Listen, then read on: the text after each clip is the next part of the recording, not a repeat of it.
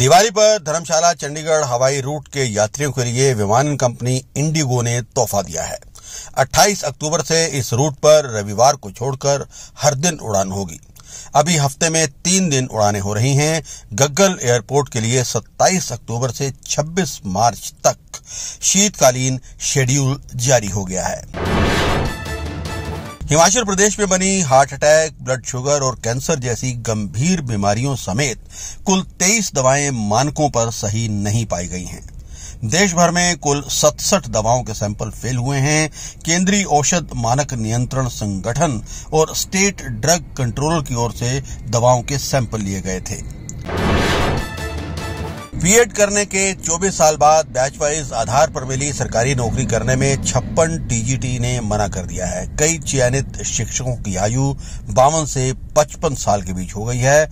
अगर ये ज्वाइन करते तो ढाई साल अनुबंध में ही निकल जाते, जब तक रेगुलर होने का समय आता। ये रिटायरमेंट के करीब होते, कई सरकारी या निजी क्षेत्रों में बीते कई सालों से ये एडजस्ट हो चुके हैं। हिमाचल प्रदेश के सरकारी स्कूलों में भर्ती किए जाने वाले 245 स्पेशल एजुकेटर का टीचर एलिजिबिलिटी टेस्ट होगा। प्रारंभिक शिक्षा निदेशालय ने टेट करवाने के लिए शिक्षा बोर्ड को पत्र लिख दिया है। परीक्षा के लिए पाठ्यक्रम भी स्कूल शिक्षा बोर्ड धर्मशाला ही तैयार करेगा।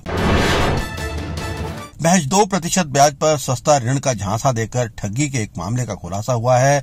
जाँच में पाया गया है कि नवी मुंबई जन कल्याण निधि लिमिटेड की ओर से हमीरपुर में कथित बैंक शाखा खोलने की अनुमति मिली। शाखा खोलने की अनुमति के दस्तावेज़ आरोपी से बरामद हुए हैं। हालाँकि ये दस्तावेज़ सही नहीं है।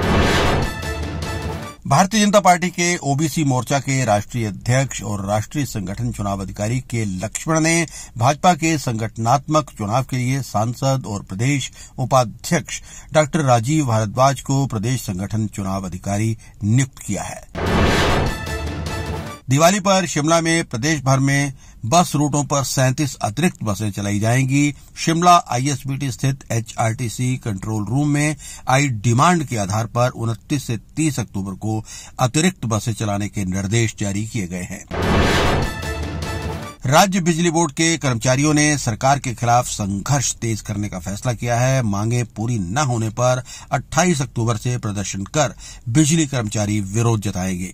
इंजीनियर्स और कर्मचारियों के संयुक्त मोर्चे ने गुरुवार को आपात बैठक करके सरकार को ये अल्टीमेटम दिया है। अगले साल होने वाले सीज़न में धर्मशाला स्टेडियम में फिर से आईपीएल के मैच होने की उम्मीद जगी है। यहाँ कम से कम दो मैच हो सकते हैं। आईपीएल चेयरमैन अरुण धूमल के तीसरी बार गवर्निंग काउंसिल का सदस्य चुने जाने के बाद ऐसी उम्मीद की जा रही है।